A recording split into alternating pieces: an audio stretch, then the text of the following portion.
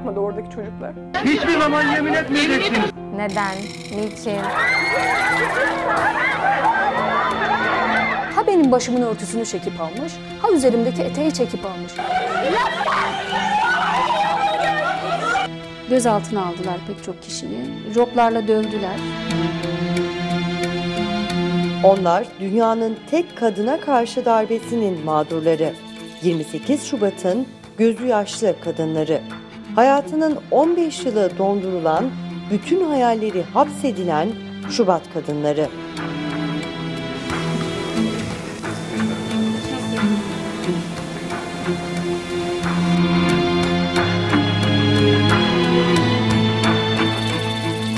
...28 Şubat deyince sizde ne his uyanıyor? Yani o his tarif edilemez. Kelimelerle tarif etmem mümkün değil.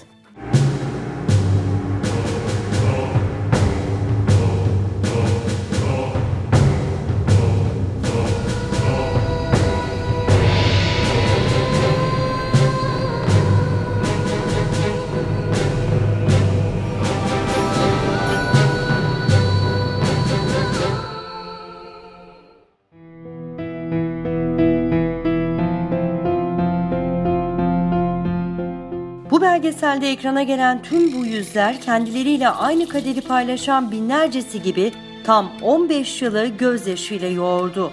Dövüldüler, rencide edildiler, aşağılandılar.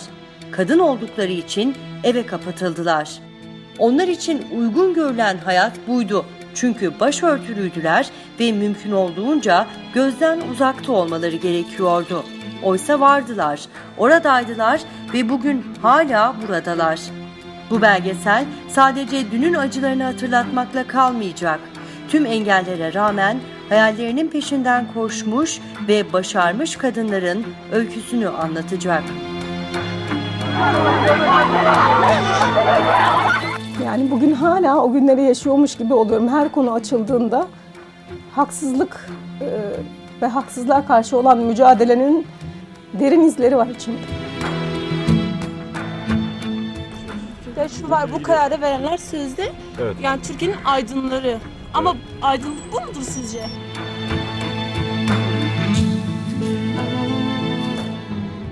28 Şubat 1997. O gün tüm Türkiye kritik bir toplantıya kilitlenmişti. MGK toplantısında alınacak kararların ayak sesleri aslında bir süredir hissediliyordu. Üniversitelerde kız öğrenciler üzerindeki baskı artmış, kadın çalışanlar yasada olmayan bir kurala uydurulmak için kıskaca alınmıştı. Bizim sınıf 75 kişiydi, biz 2 kişiydik başörtülü. Diğer arkadaş da geliyor gelmiyor, bazen tek başıma olduğum oluyor. Yani çok ciddi bir baskı yaşadığımı söyleyebilirim sınıf içinde. Yani konuşmayanlar vardı, kafasını çevirenler, selam vermeyenler çok acayip bir ortamdı. Dekanın bulunduğu odaya da tek tek alıyorlar öğrencileri. Babam var yanımda. Babamla beraber odaya girdik. Ee, odaya girdiğimizde dekan hanım bize ya öğrenci kim? Ben burada öğrenci falan göremiyorum gibi bir tavır edayla baktı. Kendi sorduğu soruya kendi cevap verdi. Biz bu şekilde sizi öğrenci olarak kabul edemeyiz dedi bana. Günlerce okula giremedik, derslere giremedik. Tabii o sene derslere giremediğim için de sınavlara giremedim. Sınavlara giremeyince okuldan atılmış oldum. Bizim başımıza gelebileceğini açıkçası tahmin etmiyorduk. Hani ilahiyat fakültesi okuyoruz. Eğer ilahiyatlara da bu gelirse artık e, yani gerçekten çok vahim boyuta ulaşır diye düşünüyorduk. Hiçbir gün bizim başımıza geleceğini tahmin etmiyorduk. Ama gün geldi bizim de başımıza geldi. İlk önce bunu fotoğrafla başlattılar. E, Dediler ki açık fotoğraf verin. E, Hani bu belayı en hafif şekilde kafamızdan atlatalım. Eğer devamında başka bir şey istenecekse biz bunun devamını getiremeyeceğiz. Devamını getiremeyeceğimiz bir e, şeyin başını başlatmayalım diye düşündük. Ve fotoğraf vermeme kararı aldık.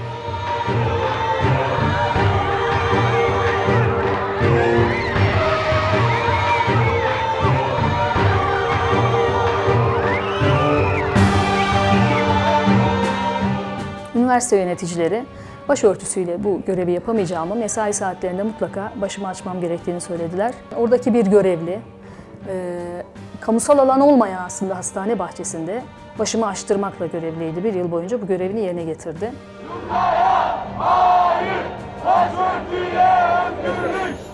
Üniversite kapılarının önünde eylemler, içeride ise işi eğitmek olan akademisyenlerin ikna mesaisi başlamıştı. Yani bir arkadaşımla birlikte girmiştik. Kayıt olmak üzere girmiştik. Yani sorun olacağını biliyorduk ama ikna odasından falan haberimiz yoktu. Biz içeri girdiğimizde bir görevli karşıladı bizi. Sizinle görüşüldü mü daha önce dedi. Şuradaki odaya buyurun dediler. Ben girdim önce odaya. Buyurun oturun dediler. İşte bir küçük bir oda, şeyi yok, camı falan yok. Onu çok iyi hatırlıyorum. RDM olarak kullanıyordu artık. Bir tane masa var. Masanın işte arka tarafında iki bayan oturuyordu. Benim de oturmam için bir sandalye vermişlerdi. Buraya oturun dediler. İçeri oturdum. İşte ilk sordukları şey hangi okulda okuyorsunuz? Kimliğimi şey yaptı falan. E, bu okul çok zor kazanılıyor. Biliyor musun sen? İşte ne kadar işte çaba sarf ettiğin kim bilir burayı kazanmak için falan dediler. Sonra işte lisede hangi okuldan mezun oldun dediler. İmam Hatip Lisesi dedim. Hmm deyip bir e, not aldılar onu. İmam Hatip olmasını. Bu şekilde giremeyeceksiniz başörtülü olarak dedi. Ya ne olacak sanki dedi. Yani burada bak dedi kaç tane arkadaşınız vardı. Siz dedi onları dedi baskı altına alıyorsunuz dedi. Bu şekilde gezerek dedi okulun içinde. Ben dedim ki sınıf 75 kişi ve biz iki kişiyiz. Nasıl baskı altına alıyor olabiliriz onları? Zihniyetse önemli olan. Yani başımı açsam da ben aynı şeyi düşünüyor olacağım. Ve işte benim gibi düşünen erkekleri nasıl ayırt edeceksiniz dedim. Ben o gün ikna odasından çıktığım gibi annemi aradığımı hatırlıyorum. İşte o şey ankesörlü telefonlara koştum. Anne dedim bu okul işi olmayacak. Ben geri dönüyorum. Yani ağlayarak bavulumu hazırladığımı falan.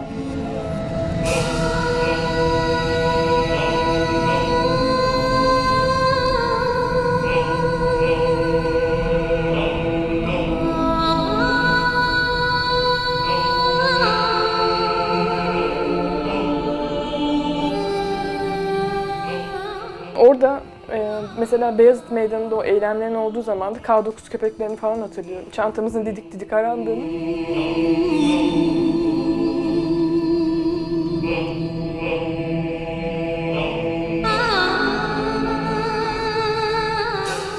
Yani onu hak edecek hiçbir şey yapmadı oradaki çocuklar. 16 yaşındaydık yani ne yapabilirsiniz ki orada?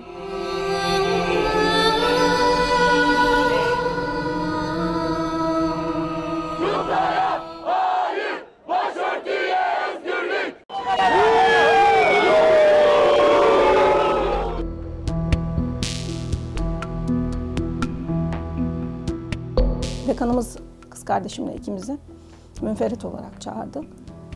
Yavrum işte biz e, başımıza daha fazla sıkıntı almak istemiyoruz. Sizi kim provoke ediyorsa e, gelin vazgeçin.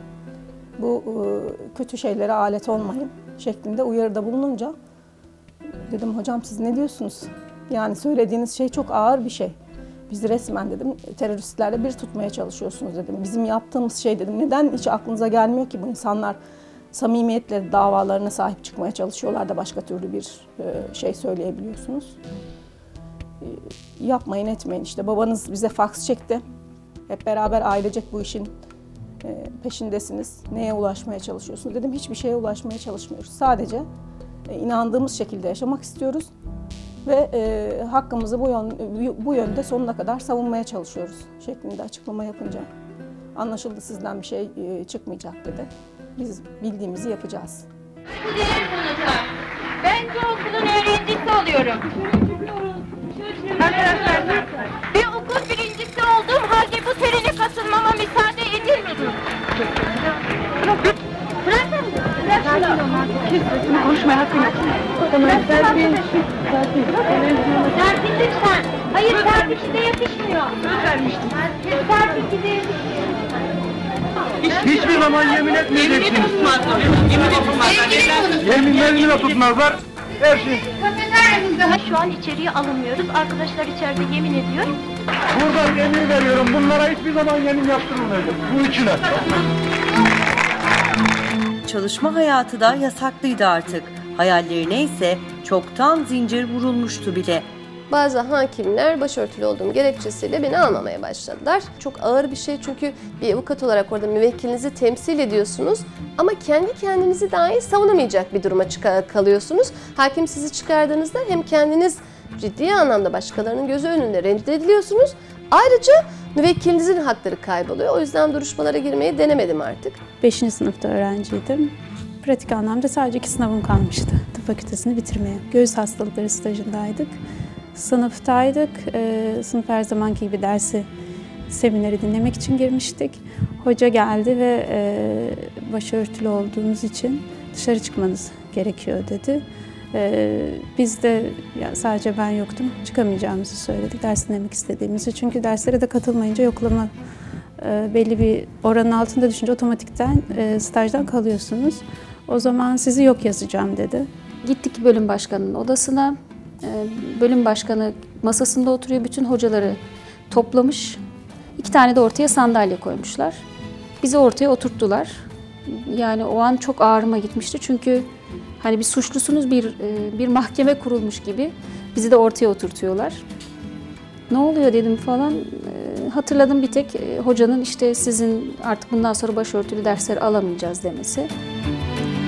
Hocamız iki başörtülü vardı grupta. Odalarında toplantı yapmışlar, bizi de çağırdılar. Herkes oradaydı, bütün grubun hocaları. Almayacaklarını söylediler.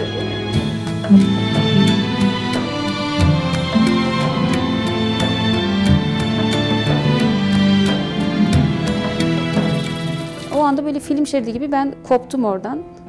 Ayrı birden bir dünyaya geçtim. Ne oluyor? Onların söylediklerini hiç duyamadım yani.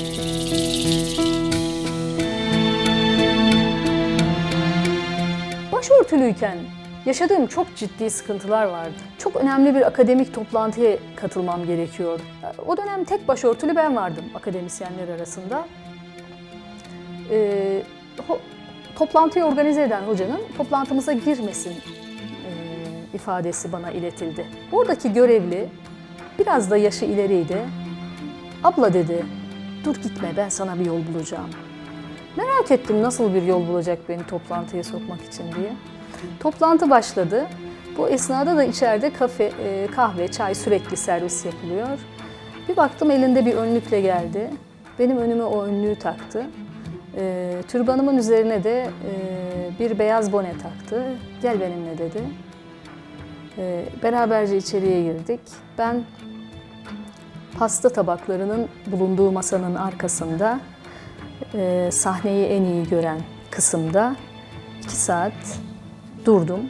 O iki saat boyunca e, içime doğru, dıştan fark edilmedi ama içe doğru hep ağladığımı hissettim.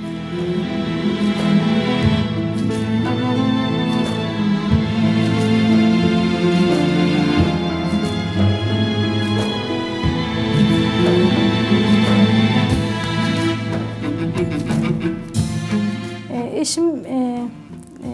harp okulu me- mezunuydu.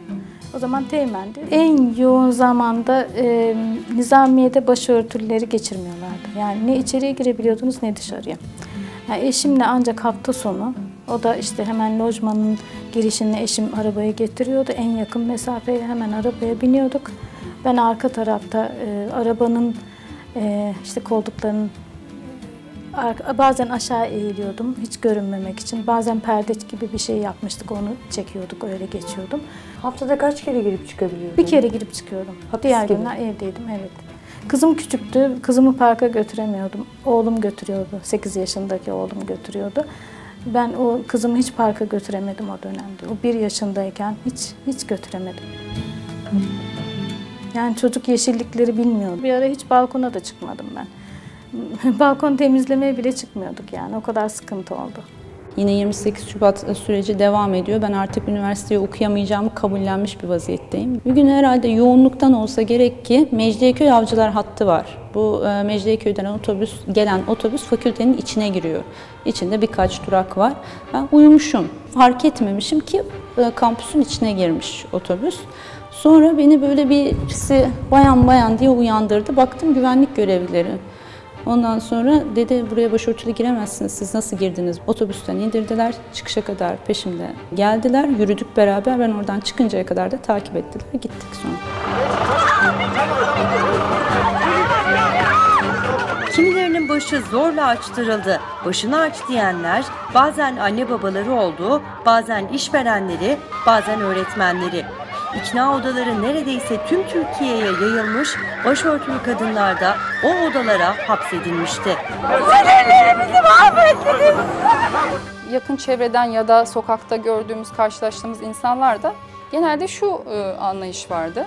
Yani sen başını aç, günahı zaten devletindir. Biz olaya yani fıkhi bir şey, günah ya da sevap anlamında bakmıyorduk. Bu insani bir şeydir ama biz buna var oluş mücadelesi olarak bakıyorduk. O ilk başımı açtığım gün e, oğlum çok küçüktü. Umarım annenden utanmazsın bir gün ifadesini kullanma ihtiyacı hissettim. Çok ciddi e, bir psikolojik sıkıntıyla evden dışarıya çıktım.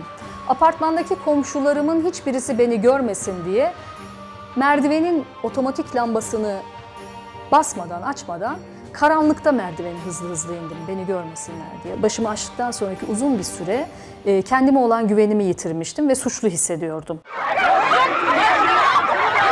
Ya gelecek hayallerinden vazgeçeceklerdi ya da kendilerini tanımladıkları kimlikten. Tercihleri ne olursa olsun bedeli çok ağır oldu. Kimi başını açtı ama yüzünü yerden hiç kaldıramadı. Kimini ise polis şopları, dayaklar, gözaltılarla dolu günler ve gurbet yılları bekliyordu.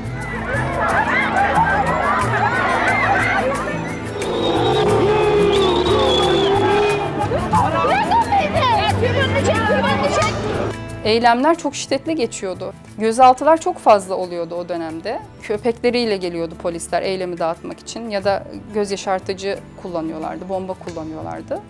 E, Dolayısıyla tabii ki korkarak gidiyorsunuz. Özgür Der'in başkanlığı bana teklif edilince eşimle aramızda şöyle bir, bir konuşma geçti. Süreç e, çok e, keskin bir süreç. Yani gözaltı olabilir, hapis olabilir.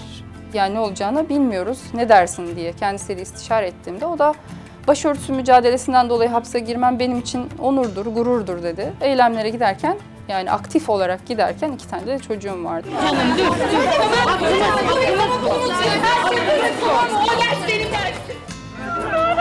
Hacı lütfen.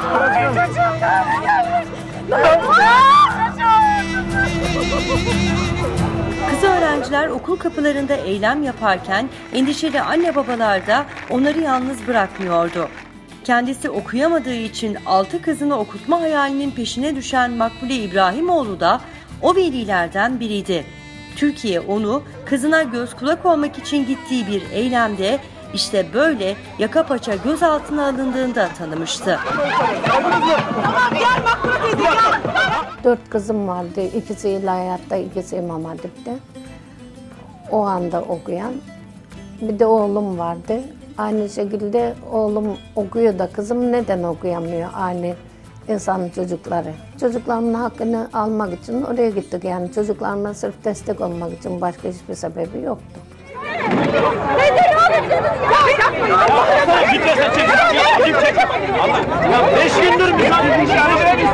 Benim annem benimle geliyordu. Ki Bazı arkadaşlarımın babası geliyordu. Hatta bazılarının hem anne hem babaları birlikte getiriyorlardı çocuklarını. O kapının önünde e, zaman zaman çevik kuvvet ekipleri, terörle mücadele eden polisler, e, yani biz bu polislerin gölgesinde geçirdiğimiz çok gün olmuştur yani. Dolayısıyla anne ve babalarımız da bu konuda da ekstra tedirgindi. E, yine sıradan bir gün gitmiştik okulumuza zincir eylemi yapılmıştı. E, Bir kargaşa, bir e, yani bir e, savaş alanı e, adeta oluştu. E, Eylemin başlamasıyla birlikte polis de devreye girdi.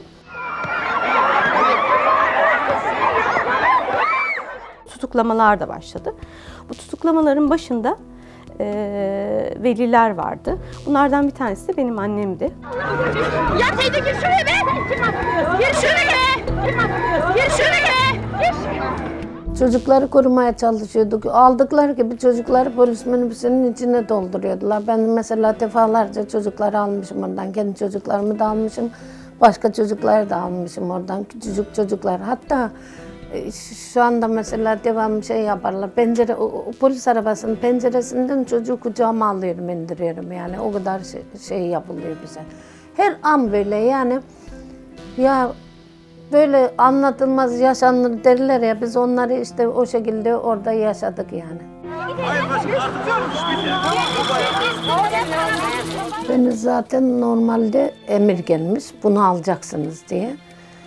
Ondan sonra bugün bu sefer çocuklar, erkek çocuklar Cuma'ydı. Cuma'ya gitmek için dışarıya çıkmışlar. Çok büyük bir arbede oldu.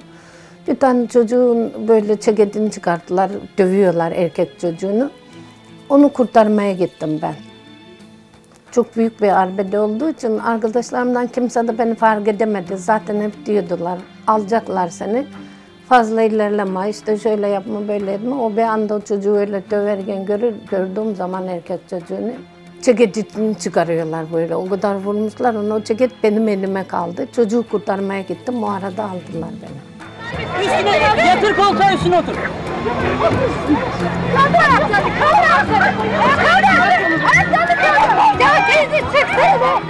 Annem yakınımdaydı.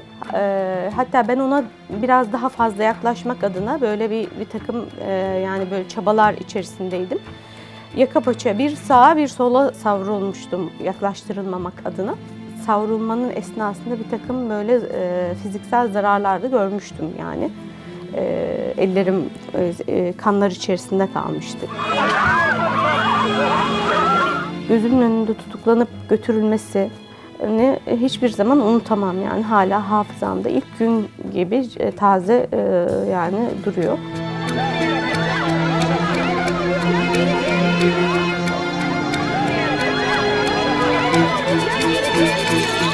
Gözaltına alınmakta da kalmamış tutuklanarak cezaevine gönderilmişti.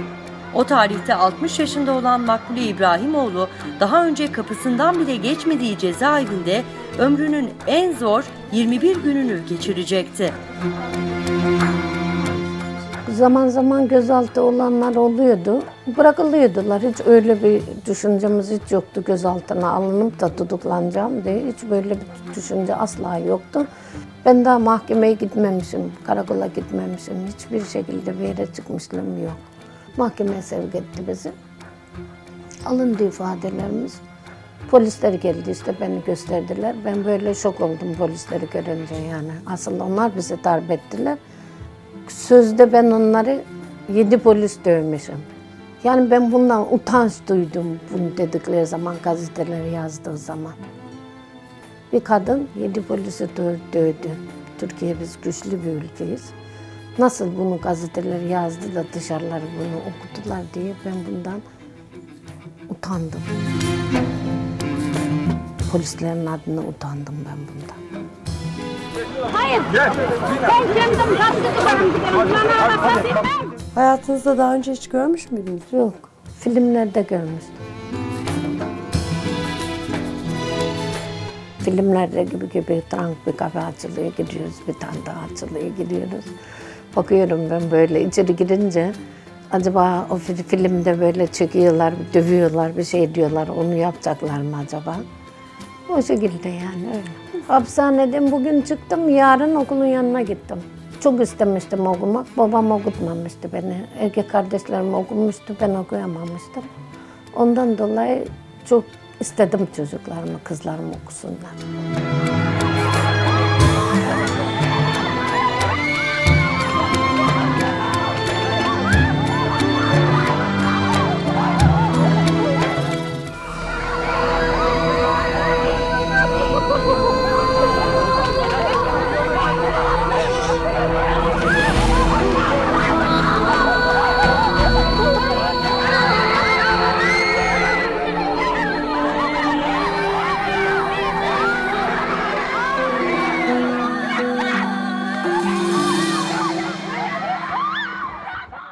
Okula gidiyorum diye çıktım. Hakkımı alabilir miyim acaba? Belki bugün derse girebilir miyim diye.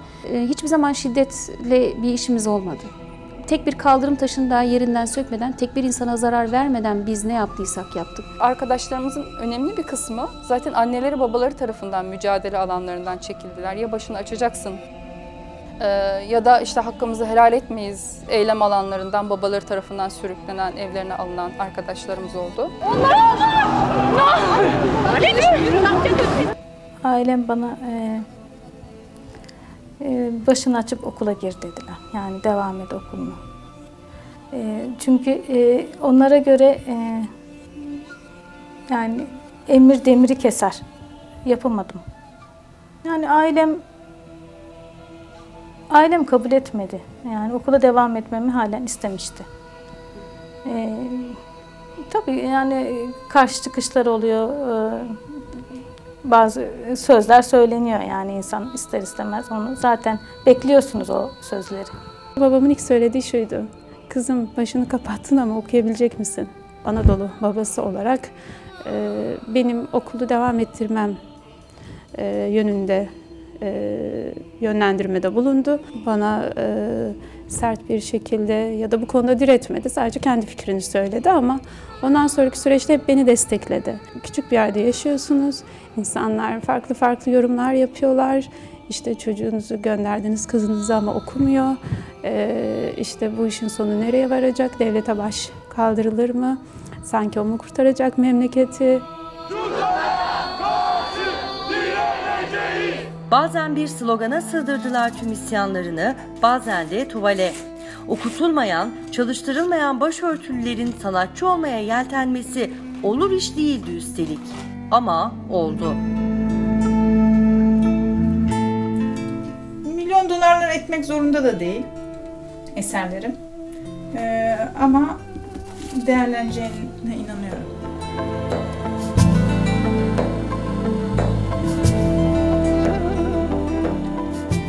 Ressam olmak istiyordum. He- Hep e, hayalimde ressam olmak vardı. Başımı açamayacağımı söyledim. O zaman sınavı terk edin lütfen dedi. Viyana Üniversitesi'ne başvuruda bulundum orada okumak üzere. 14 sene de e, Viyana'da yaşadım. E, özel dersler aldım. Hocalarım oldu Viyana'da bana yardımcı olan. E, atölye çalışmalarında bulundum. E, sergiler yapmaya başladım. Ülkesinde okutulmayan kızlar gurbette çare aramaya başladılar bir bir. 99 yılının e, sonlarında ben Viyana Üniversitesi Tıp Fakültesi'ne yatay geçiş yaptım. Biz bir grup arkadaş Macaristan'a gittik. İngiltere'nin farklı yerlerinde başladı. Londra'da da çalıştık.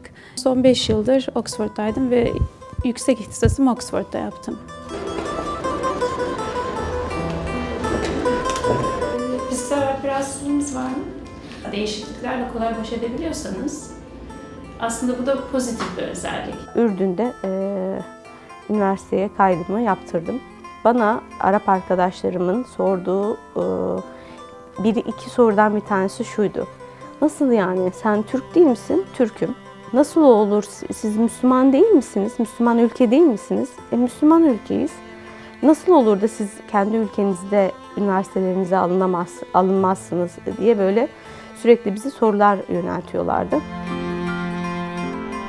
Yurt dışına gidebilenler gitti, gidemeyenleri ise zor günler bekliyordu. Açılmıyor mu? Açılır mı? Açtı. Açtı. Üniversiteye girdiğim zaman işte bir televizyonda çalışabilirim, kendi programımızı yapabiliriz, işte farklı şeyler ortaya koyarız. Ya çok güzel bir şeydi, insanın kendini anlatması için güzel bir şeydi, güzel bir yöntemdi. Bu iyi bir okul diye düşünüyorum.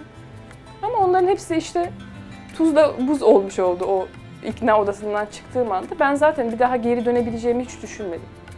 Yani bu iş tamamen bitti diye düşündüm. Bir de işte o zaman deniliyordu ya 28 Şubat bin yıl sürecek. O bin yıl içinde de okuldan mezun olamazdım yani. Lise bitti. Tabii o dönem dershanelerde de aynı problem vardı. Dershanelere falan da gidemedik. Ya bir anda kabullenişe geçiyorsun bir yerden sonra. Hani ben okuyamıyorum, yapacak bir şey yok. Üniversite tabii artık uzak bir hayal oluyor senin için. Daha sonra aradan geçtiği zaman iki sene sonra ilişki kesme belgesi geldi. Artık okuyamayacağımı kabullenmiş oldum. Biz başörtülü olarak demek ki okumuş bir insan olarak bu ülkede yaşayamayızı öğrettiler sağ olsunlar. Benim bir hayalim vardı. Ee, akademik başarımı devam ettirmek istiyordum. Çalışkan, başarılı bir öğrenciydim ve ben bunu devam ettirmek istiyordum. Maalesef o noktada bir kesintiye uğramış oldu. Son sınıftaydım. Ee, okulun dışında bulduk kendimizi. O zaman bizim için çok ağırdı. Çok ağlamıştık ilk başta. Hani inanamamıştık. Ülkeye, bu devlete faydalı bir bireyler olmak isterken neden önümüz kesiliyor? Elimde açılmamış henüz okuyamadığım kitabımla ve suskun bir karanfille protesto ediyorum.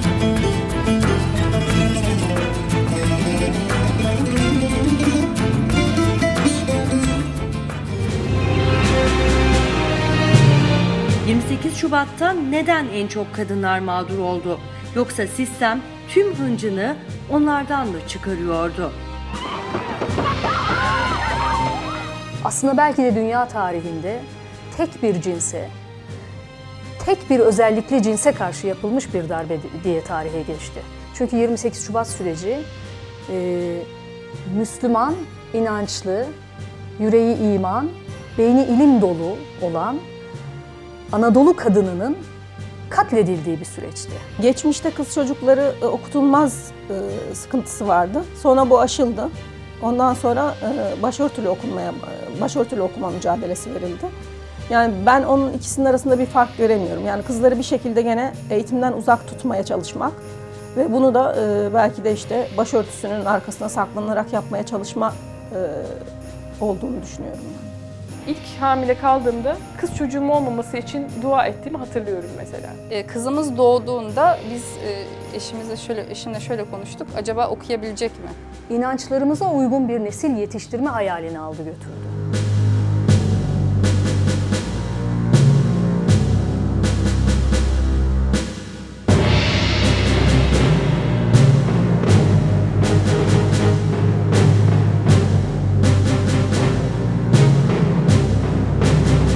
Başörtülü olarak lojmanda oturamazsınız diye bize habire baskı geliyordu. Yani eş, eşime akşam gelince işte bugün e, çağırdılar tekrar e, lojmanda böyle oturamazsınız. E, eşiniz e, başını açacak. Bir tek siz kaldınız. Siz de e, açtır sizin senin eşini de başını açtırırsam en başarılı insan atledeceğim kendimi diyen işte amirlerimiz vardı yani. Ben bu arada da avukatım, avukatlık ruhsatım var. ee, e, okuyan bir insanım, düşünen bir insanım. Ee, ben şöyle düşündüm, yani ben eşim işte askeriyeden ayrılırsa, yaş kararıyla işte ihraç edilirse e, asla bu üzüntüyü kaldıramam. Yani hakikaten mahvolurum diye düşünüyordum. Öyle düşünüyordum, öyle bir hayal ederdim yani. İnsan hiçbir şey olmuyor biliyor musunuz? Dimdik de ayakta duruyorsunuz. Yani o olayı da yaşadık. Ee, belki birkaç gün e, o olayı insan içinde... Eşiniz ihraç mı edildi? Evet. 2000 yılında yaş kararıyla.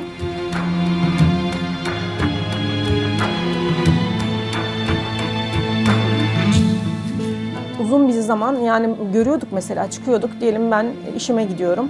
İşe giderken işte birilerinin arkamdan geldiğini, akşamları e, evin penceresinden tülü araladığım zaman aşağıda birinin beklediğini gördüğüm zamanlar oldu. Kardeşlerim bazen işte bana geliyorlardı hani çıkıp eve gidemiyoruz ya eve gidince e, bizi alırlarsa diye korkuyorum. İşte abla sende kalayım dediği zamanlar oldu yani. Bizimle irtibatta olan herkesi de takip ediyorlardı.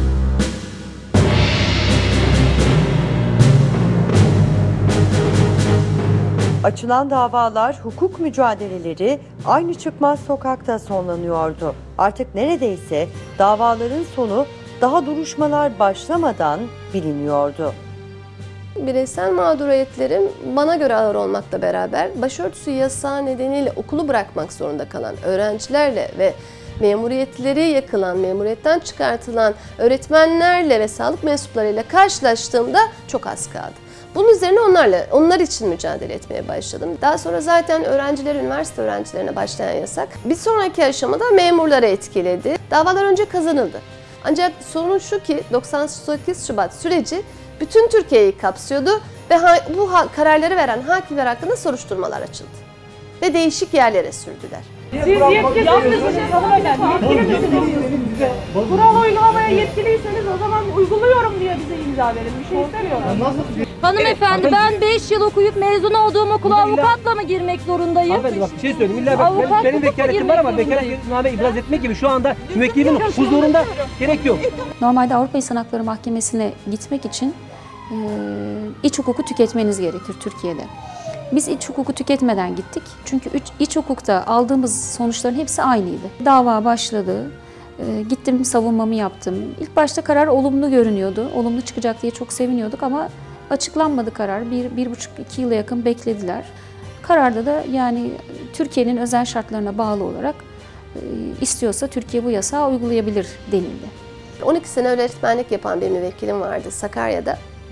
Şimdi gerçekten çalışmaya ihtiyacı var. Başörtüsü yasağı başladığı zaman işte e, e, şeyleri maddi de sıkıntıları vardı. Peruk takarak devam etti. Ya çıkartılmamak adına. Peruk takmasına rağmen çıkarma cezası aldı. Dava açtım ve dedim ki sal mevzuatta çıkarma cezası veremezsiniz. Hukuken mümkün değil. Ama bu kişi zaten başörtülü değil. Mahkeme ne dedi biliyor musunuz? Kılık kıyafet yönetmeliğini ihl- e, uygulamada samimi olmadığı için verilen çıkarma cezası doğru. Fransız askerleri değilsiniz siz. Bir süre sonra her şey kanıksanmaya başlanmıştı. Darbe kadınları artık tek başınaydı. Mümkünse ortada gözükmeseler birçokları için iyi olacaktı ama madem çalışmak istiyorlardı o zaman önlerine konulan şartları kabul etmek zorundaydılar. Ne de olsa mecburdular, mağdurdular ve başka çareleri yoktu.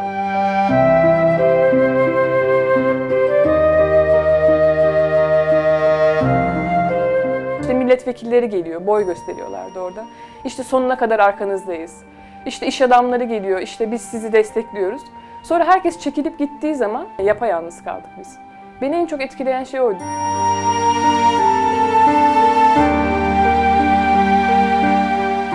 Hatta çok da kullanıldı yani bu. Çok ucuz iş gücü olarak çalıştırdılar. Ve hani o ortamda zaten başörtülü çalıştırmak da istemiyorlardı. İşte göz önünde olmayacağınız bir yer olsun. Arkada olacağınız bir yer olsun. Yani gözükmeyin siz, ortada gözükmeyin diyordu. Ne okulda ne iş hayatında ortada gözükmeyin diyorlardı yani.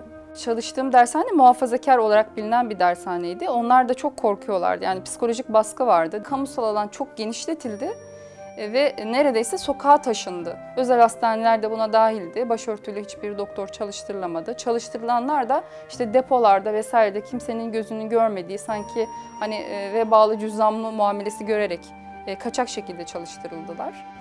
Yani başka çalışacak yeriniz yok. Bizde çalışmak zorundasınız. Nereye isterseniz gidebilirsiniz, gidebilirsiniz. Ama sonuçta benim vereceğim fiyat budur. Yani bir e, erkek doktora 3 veriyorsam sana ben 2 veririm, 1,5 veririm. E, bu tür yollara başvurdular, kabul ettiler ve çalıştılar. Yıllar böyle geçti. Kimi yurt dışına çıktı, kimi kendini eve kapattı. Kimi ise karşısına çıkana razı oldu. Ta ki başörtüsü yasağı kalkana kadar. Önce kız öğrencilere okul kapıları açıldı, sonra çalışma hayatına geri çağrıldılar.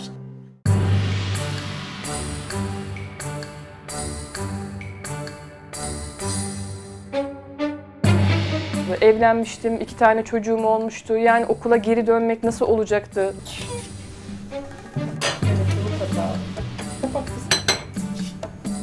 Bunu kapa, bunu kapa, burayı kapa. Ama o gidiş çok çok şeydi yani çok etkileyiciydi. Kapıdan içeri girdiğimde or hani kovularak çıktığınız bir yer orası. Oraya giriyor, girdiğimde çok tedirgin oldum. İşte birisi bana bir şey diyecek mi acaba?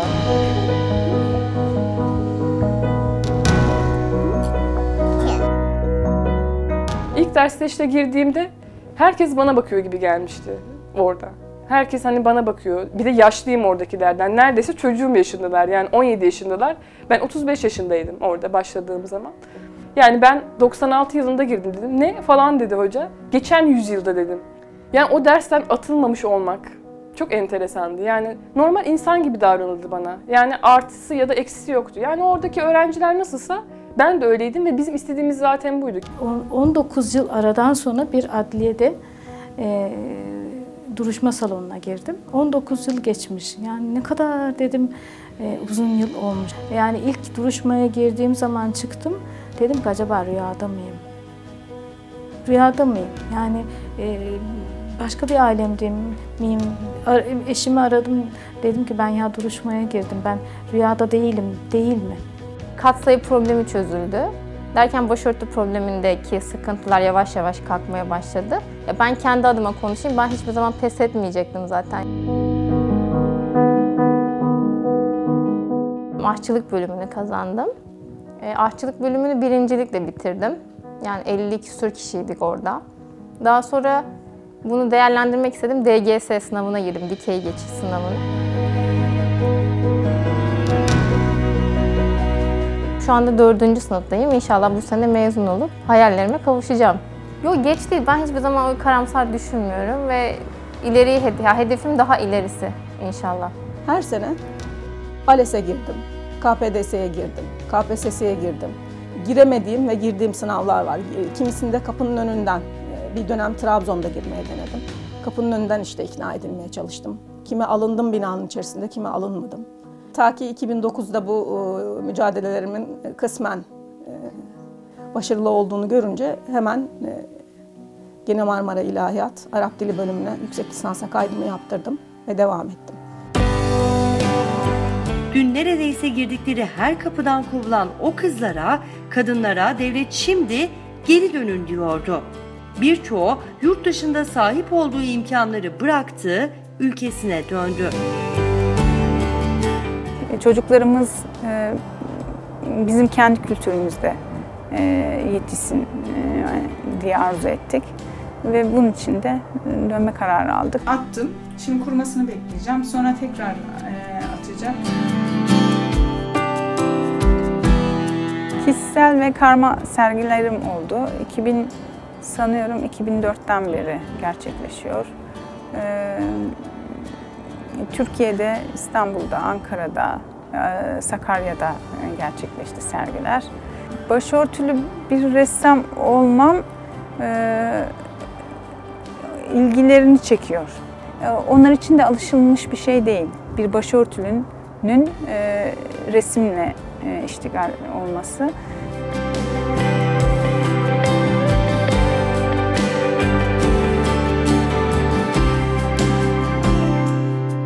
Kendi üniversitemin kapısından dahi giremedim. Hatta ben kadına karşı şiddet çalıştığım için değişik üniversiteler tarafından konuşmaya çağrılıyordum. Başörtüsü olduğumu görünce vazgeçiliyordu. Böylelikle değişik kendi ülkemde, kendi üniversitelerime gidemedim. Ama belki bu başörtüsü yasayla mücadelenin neticesinde Rabbim beni başka bir noktaya getirdi. Örneğin Harvard'da konuşma yapma şansına sahip oldum. Hani belki duruşmadan atıldım ama dünyanın en etkili 500 Müslümanı listesinde yer aldım.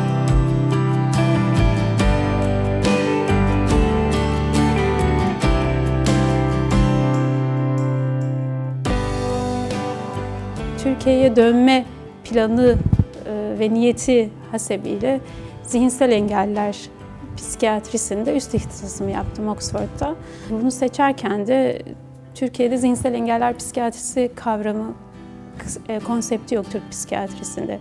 Bunun burada olmadığını biliyordum. Bu motivasyonla e, bunu biraz kendime misyon olarak gördüm. Ülkeme döneceğim ve ülkemde olmamış fakat ihtiyaç olan eksik olan bir boşluğu da ben kapatacağım niyetiyle Türkiye'ye döndüm aslında. Ve e, çok şükür şu an çalıştığım üniversite hastanesinde de bunu başlattık. Alev alan ateş söner mi hiç? Özgürlük güleri biter mi hiç? Alev alan ateş söner mi hiç?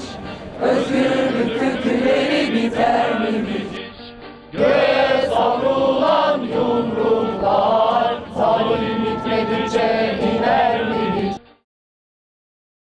Kapılar açılmış, yurt dışında başarılara imza atmış Türk kadınlarına devlet gel demişti. Üstelik kıyamette kopmamıştı. Kovuldukları bir kapı daha vardı onlara açılacak olan. Devletin kapadığı kapıyı millet açtı.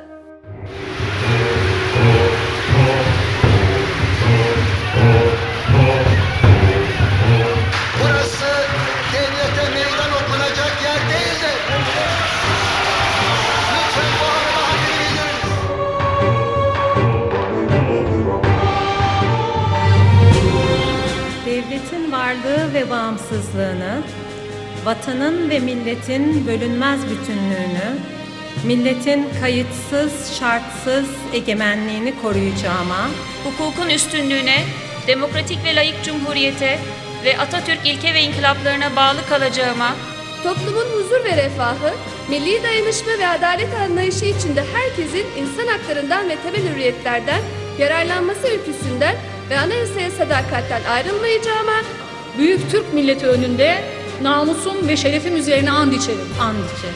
And içerim. Vekil kimliğim elbette ki çok önemli bir kimlik ama ayrı bir kimlik. Bunu ayrı tutuyorum. Bizim şu anda geldiğimiz noktada Türkiye'de artık kadınların başörtülü, başı açıkmış ayrımından kurtulmamız lazım. Bir kişi e, her alanda böyle olmalı. İşi yapabilecek mi? Yeteneği var mı? Eğitimi var mı? Becerisi var mı? Bu konuma layık mı değil mi? Buna bakmak durumundayız. Eğer bunu yapamazsak biz hala bu sorunu aşmış değilizdir. Dağlardayız biz ovalarda makine Türkiye'nin demokrasi karnesi kırık notlarla dolu. Geçmişin travmaları bazen mütedeyyin insanlarda, bazen sağcılarda, bazen de solcularda büyük yaralar açtı. Hayatları alt üst etti. Herkes geçmişin demokratik az gelişmişliğinden üzerine düşeni aldı. Ama onlar yani 28 Şubat mağduru kadınlar bu kırgınlıkları geride bırakıp yüzünü geleceğe dönmeyi başardı. Alev alan ateş söner mi hiç? Özgürlük türküleri biter mi hiç? Alev alan ateş söner mi hiç? Özgürlük türküleri biter mi hiç? Göğe savrulan yumruklar Zalim gitmedikçe iner mi hiç? Göğe savrulan yumruklar